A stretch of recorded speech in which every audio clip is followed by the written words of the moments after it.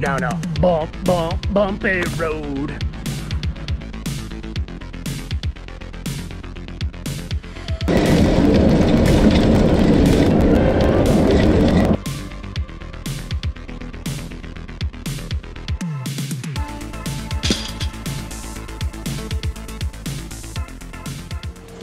Since I started this YouTube channel, I've kind of felt that it's been my job to test out equipment. When I was first getting started out, my dad and I, we didn't have a pot to piss in or a window to throw it out. And basically what that meant was we were dirt floor poor. And every decision we made, every piece of equipment we bought was a make or break. If that piece of equipment worked good, then we got to eat and maybe buy another piece of equipment. But if that piece of equipment didn't work the way we thought it was going to work, it could have financially ruined us. And so when I do these reviews, I don't like to tell you guys if a piece of equipment is good, bad, or in between because what may be good for me may not be good for you. Instead, what I try to do is I try to show the piece of equipment doing what it's meant to do, and then I try to take it a step further and to see how much abuse can it take. Because if it can handle the kind of abuse that I throw at it inside of a video, hopefully it will hold up to the kind of abuse that you guys will be doing on a day-to-day basis.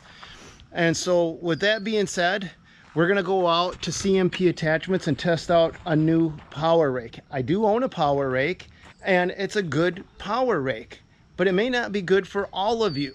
So I wanna look at other options to see if there may be something else that's good for you guys. So we're gonna take off right now. We're gonna go hook it up to this and then we're gonna bring it 100 miles north and torture it on the absolute worst gravel road that I've ever seen. This, I actually had to talk to the neighbors and tell them to please not fix it. This is bad, which means this video is gonna be a lot of fun. It is. Let's go. Let's go to CMP now.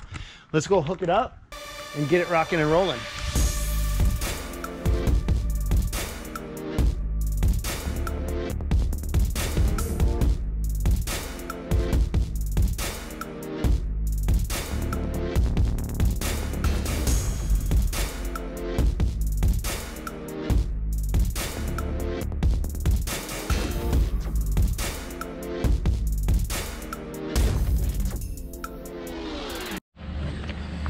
Made it. looks busy in the shop. They must be outfitting that Deere with the Hydra grapple, I'm gonna guess. Ooh, could that be the one? Could that be the one? Hydra rake. I think that's the one I'm gonna be pulling home today. Let's go find out. How you doing, Derek? Good. How are you doing? Yeah, she doesn't have a 14 pin. I know. I was looking for a cigarette lighter because we got this nice universal box that plugs into a cigarette lighter. Right? I don't even see that in there. Huh? No. Do we? If I go in it? No. Go right ahead. I don't care. I find it hard to believe they don't put a cigarette lighter. No, out your head, because that door has to click to. I've never seen that before. Huh? Yeah, there's no power source, is there? I feel like they've gotten they got the buttons for. They got the buttons all in it too. Um, for the oh, here it is. Oh, boom. Let's go look at this power rake, Derek. I want I want you to kind of walk me through it. And then um, that way you can walk these guys through it. Sure. So they know what they're looking at because you know, like I said this morning, I've got a power rake, but I want to give these guys options. One thing that I like about our rake versus anybody else's, Mm-hmm. um, Stan, we put our bearing inside the drum. Okay. So if you look here, everybody else just puts like a four uh, four bolt pillow block bearing on, like an agriculture bearing. yeah. But what's that running in all day long? The dirt. Right. So you gotta you gotta worry about that dirt taking the seal out. Mm-hmm. Basically, when that bearing goes out, what they tend to do is on this side, on direct drive, they use the hydraulic motor as their bearing. When that bearing goes out, and you don't catch it right away, What does it do? It takes the bearing out of the hydraulic motor as well. Oh. So what we do is, we have a bearing there, We have a bearing on this side, a foot in the drum. Okay. So all our hydraulic motor ever does is spin the drum. It never relies on that hydraulic motor to be the bearing. So there's actually a band of metal on the inside of this drum welded in that keeps the dirt out, Okay. and then two fabric seals. What we do with this is we break it in. Because we've had problems when we weld this teeth on, this metal band, it fits tight into the drum. So And when you you first heat it run it. Yeah. yes, when you first run it, this will actually get hot. And we I would- normally have yep. to break them in. Um, and a lot of it's, you can't figure out a better way. If I take the metal band out, we could eliminate breaking it in and getting this hot, but that's what keeps the dirt out. That's what I, I usually pull these pins out, Stan. I don't like these pins.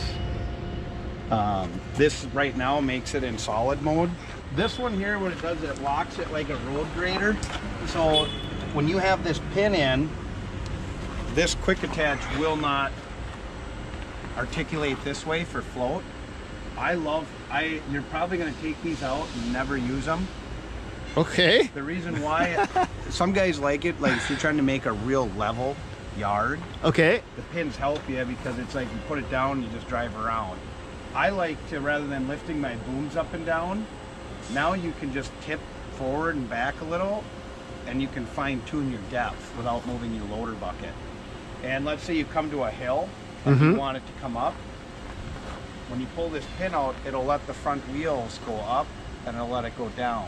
And since it, I'm gonna want those pins in because the what I'm gonna go grade is just a hard packed. I mean, this is hard packed stuff and it's all one level, so I'm good with leaving that pin in for what my, this applic today's application. Okay. Yeah. All right. So this here, what happens is, what this normally is, is your air brake, your caliper Uh huh. on your semi is here.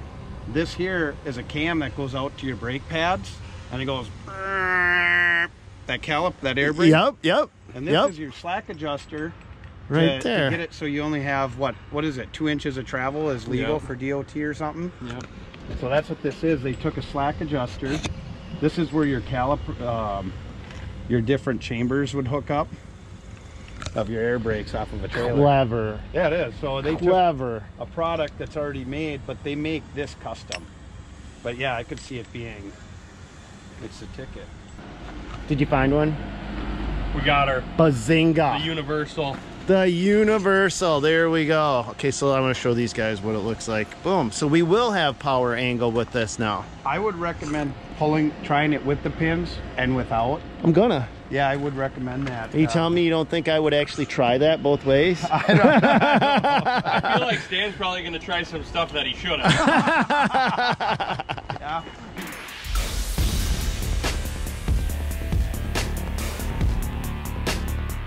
With the power rake loaded up and ready to go, next step is to bring it up to where the gravel road is. Now this is a minimal maintenance road that's really never had a good thorough regrade done on it since it was first built over a hundred plus years ago. We've used a chain link fence a few different times to smooth it out, but never done a very thorough job.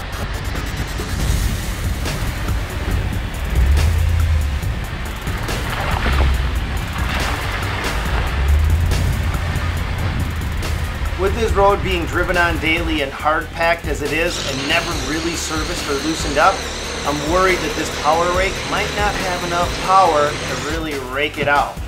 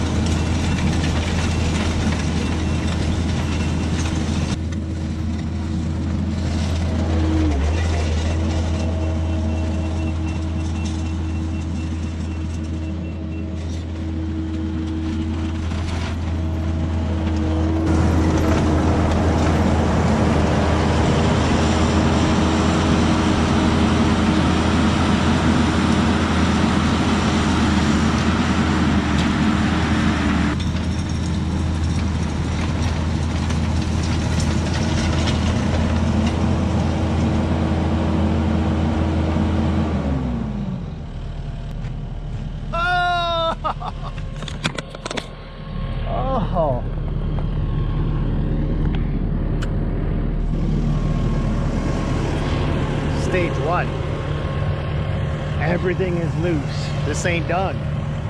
Stage two. We slap on a bucket and we go all the way through. Thing made short work of that. That is hard packed crap. Oh, like it. Me likey.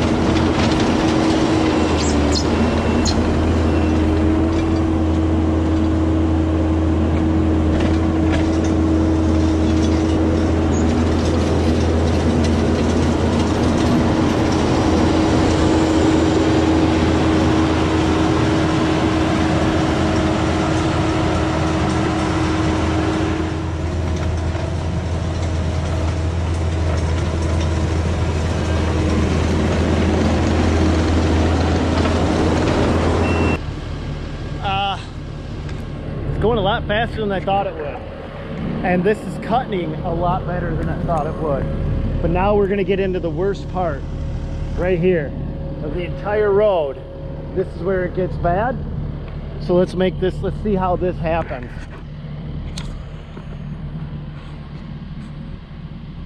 Down a bump, bump, bumpy road. You can't get a better song to grade a gravel road to than Bumpy Road by Big Smoke.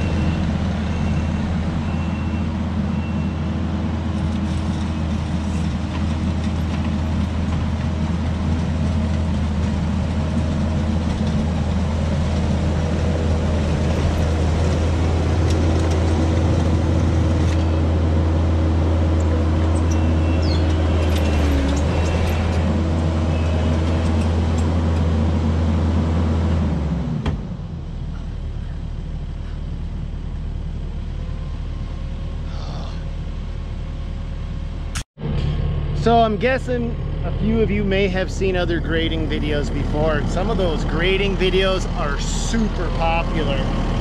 But there's something that I don't know if is actually being said in any of those other grading videos. But what you just seen how we graded this out here, section by section by section, is not how we actually work. So next what I'm gonna do is I'm gonna show you if there were no cameras running, how I grade this out. And the reason I say that is because I wouldn't do it a section at a time. I don't want to grade this section and then grade this section and then have this weird between sections.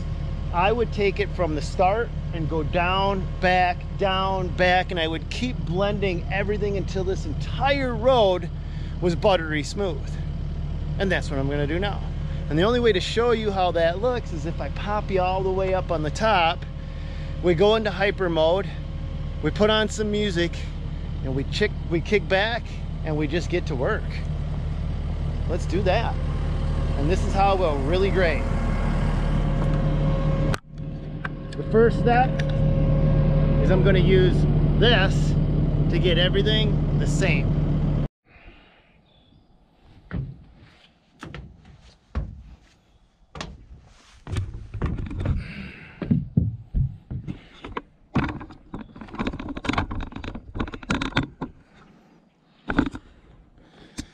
Okay, so we're gonna actually start from here, go all the way down, all the way back so we get everything to flow.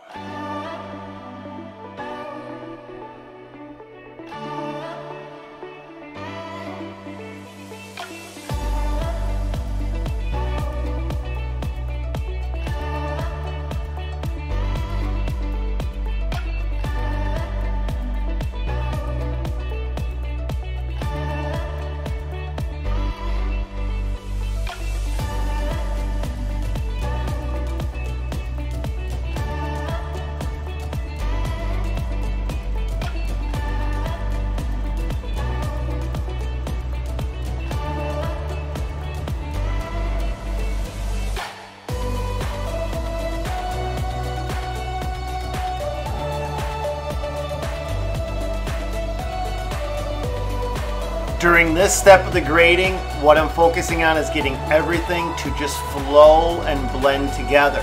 But I can't leave it like this because it's too soft. As soon as we get a rainstorm or something like that, I'm gonna end up with holes in the road again. So there's a couple more critical steps that still have to be done before I consider this job finalized.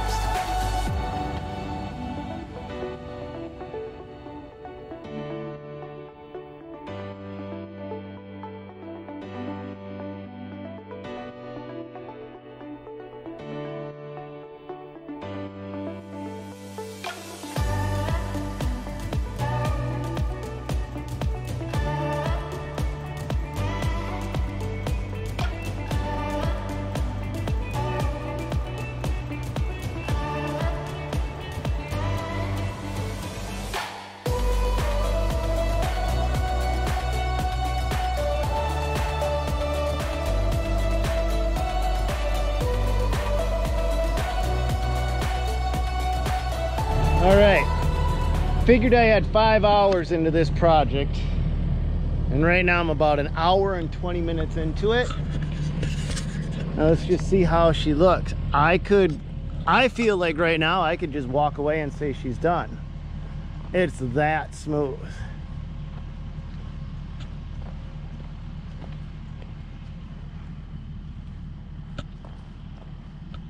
She just flows. Golly. Look at that. I love it when a plan comes together.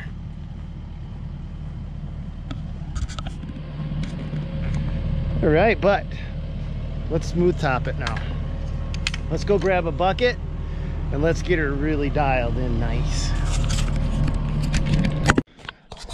When I was at CMP, Derek said something that was kind of funny. He's like, you know, that Kubota, that kind of reminds me of my old Bobcat T190. I'm like, well, I have a T180, and there it is. Do you see any similarities?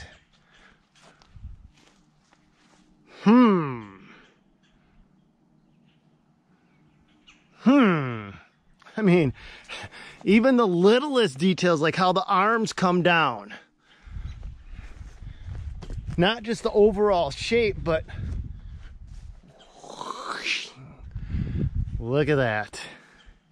You guys see it at all? I mean, that's a smaller unit than a T190.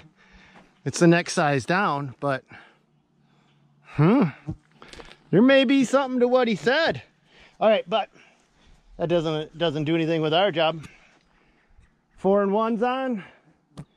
I don't need a four and one for grading, but I actually don't use a and one for anything, to be quite honest with you. We've had this bucket and we've got less hours on this bucket than anything, and everybody in Europe, all you Europeans, you're like, oh my God, how do you work without a four and one? It's pretty cool that you guys we're so different, but we still do the same damn thing, except I got that horsefly. Did I get that horse? I got it. Did you guys see that? Mm, popping horseflies. Nothing better than pop. No animals were harmed in the making of this video except horseflies.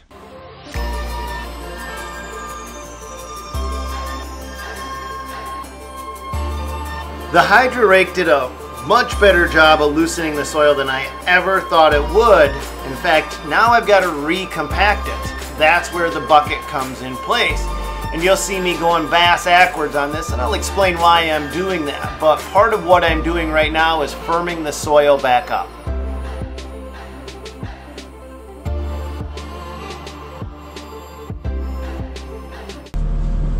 So let me slow this down and explain exactly how I'm grading this thing. I'm grading with the front edge, and I'm not using the float, and I'm going backwards because it's just allowing me to feather grow. I could go the other way, but there's all of the soil that I want is where it needs to be right now, and all I want to do is just smooth it out. So I'm going to use a combination of forward, backward, the back part of the bucket, the front part of the bucket, but you'll be see me using different parts of the bucket in different ways. That's because at different parts of the road, I may need to feather in just a touch more or take away a little bit. So that's what I'll be adjusting as I go.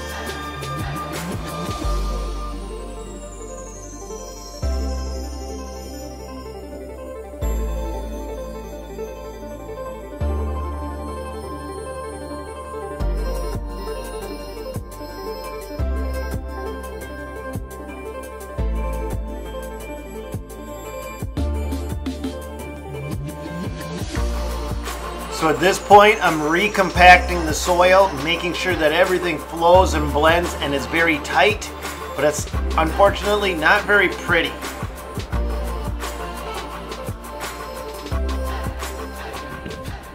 I used to have a section of, well, I used to have a gate, section of fencing, and it basically was just nothing more than a kind of a big gate. And I turned that into a drag. It worked phenomenal if I knew where it was. All right, I don't see it anywhere. Let's go over to the farm, see if maybe it got used there and left.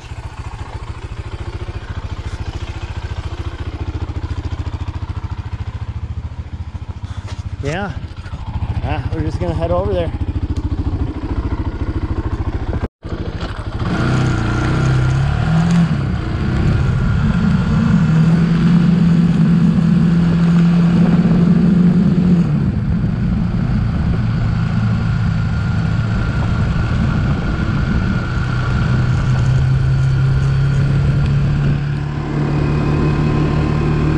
This is smooth.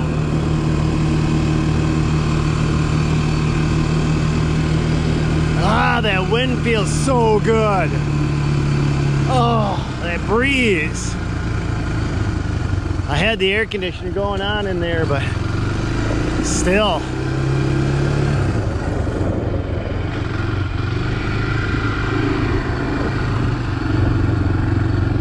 Well, we don't necessarily need a gate.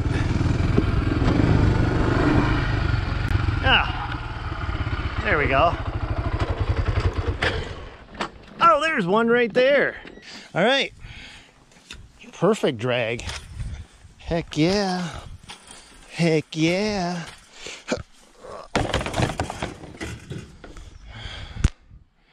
That's plenty of room.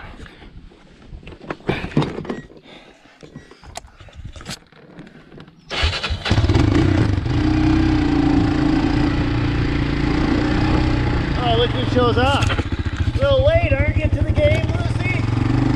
A little late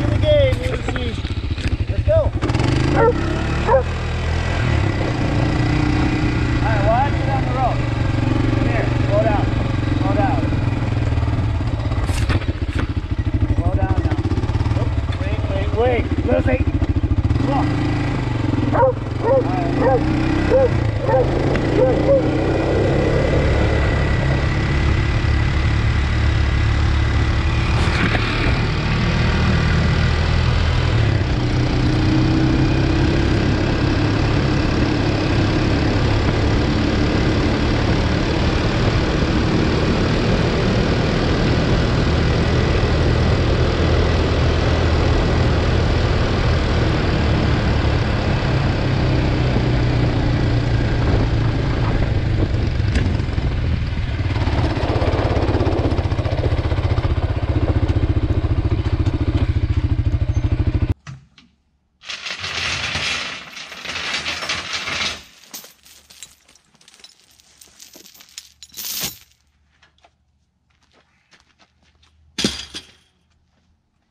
We've already done all of the grading. All we're doing now is polishing.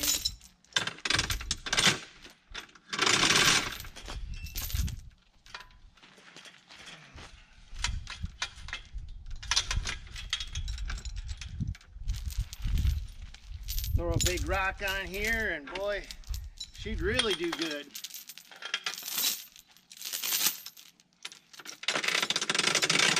Probably find a big rock somewhere along the way, right?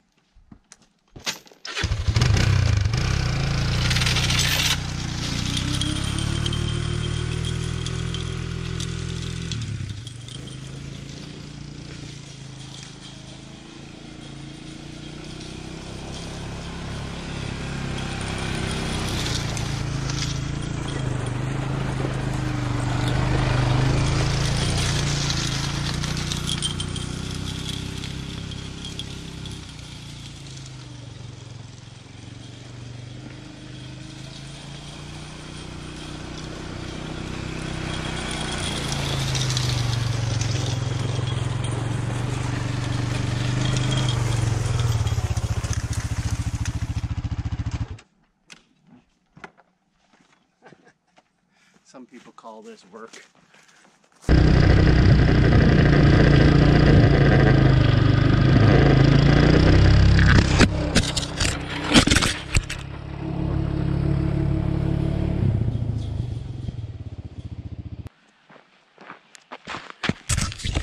What the heck are you guys doing in the dirt? The job is over here. Ain't nothing heavy enough in here. But I do know where there are some we can use. So let's go and grab some right now and toss them on and see how that works.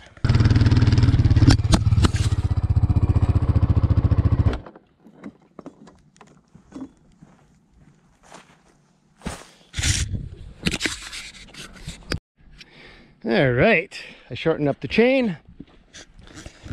Threw a couple pieces of ballast on there. Now let's see how she rolls.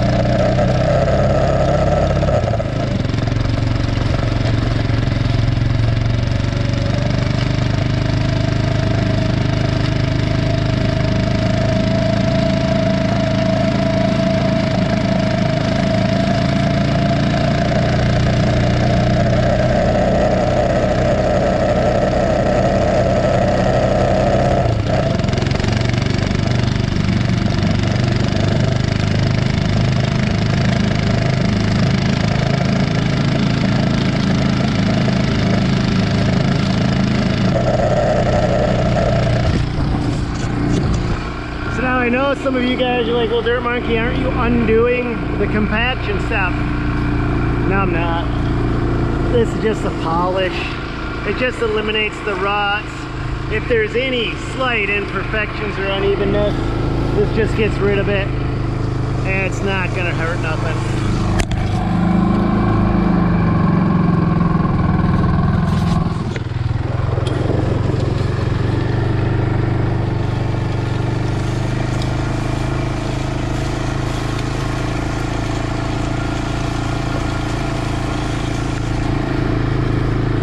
regraded uh, Shakopee Women's Prison with a four-wheeler and a fence gate just like that. We were responsible for doing the whole dig on the prison and at the end they wanted a finish grade and I didn't really have a land plane, I didn't have a power rake and they wanted it perfect so I brought out my four-wheeler and I brought out a fence and I just went around and started grading it. They couldn't believe it. They were like, oh, that'll never work. A couple hours later, look nice. Traffic jam. Traffic jam.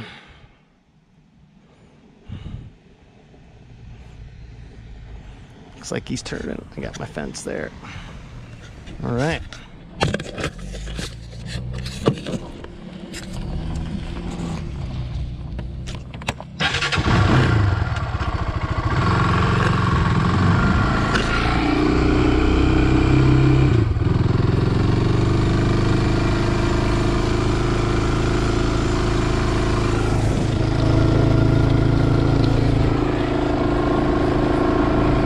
Like we got more company on the road. Holy crap, it's a busy day on this road.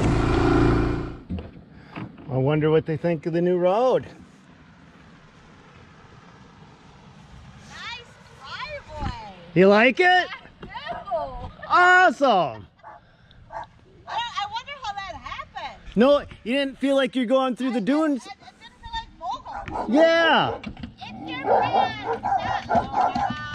Yeah. Oh. She's got a truck full of Irish wolfhounds. What do you guys think? I think we wrap this video up. Well, I hope you guys enjoyed the ride today. Pretty fun for me. Let me know what you think of videos like this. If you like them, I'll make more of them.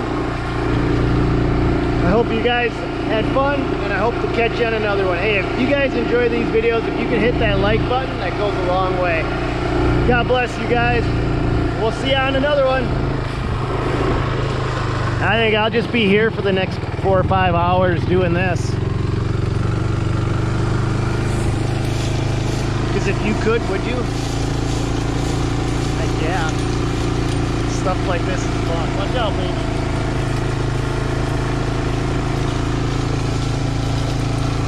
I think this is the last pass right here.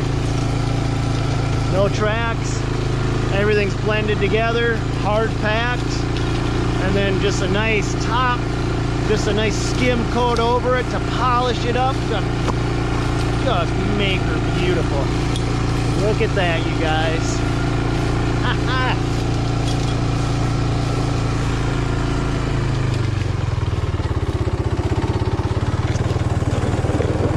There we go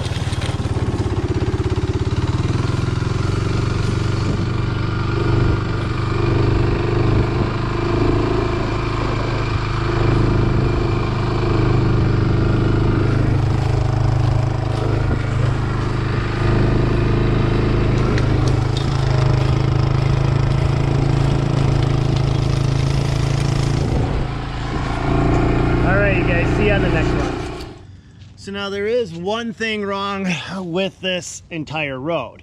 It's missing a vital component. And that's this stuff, top dressing.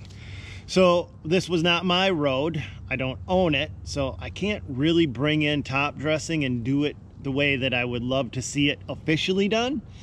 But it is important to point out that if you guys are regrading a road, I would highly recommend you do this last step because this last step is what creates a lasting effect. And what, what I'm actually talking about is just by regrading it, I'm doing okay, but I'm not fixing it permanently. I need to crown that road. I need to create, now this is exaggerated, but I need to create a crown, a peak in the middle and have all the water shed off to both sides. By creating a flat road like this, what happens is the water stays in the middle of the road. And when a car drives over that water, the water will splash out. And every time the water splashes out of the road, it takes the fines with it. So every time it splashes, the fines go and less material creates a deeper hole. And then it just create, just keeps going and keeps going and keeps going. So this is good for now, but the best way to do it is if I top dressed it the right way. I just don't have that material to do it and it's not my road to do it with. I just thought I'd point that out to you. And that's now the end of the video. Thanks for sticking around. Thanks for tuning in. Thanks for subscribing. Thanks for being a part of the journey, you guys. That's all I got the, on this one. Catch you on another one.